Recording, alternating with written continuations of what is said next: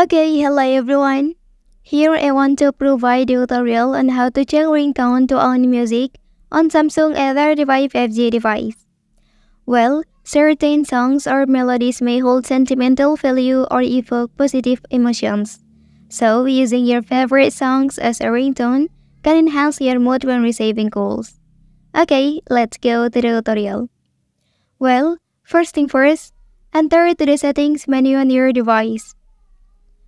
Okay, so after that, select sounds and vibration here. And then choose ringtone menu. Okay, so now click plus icon at the corner. And then select the music. So click down here.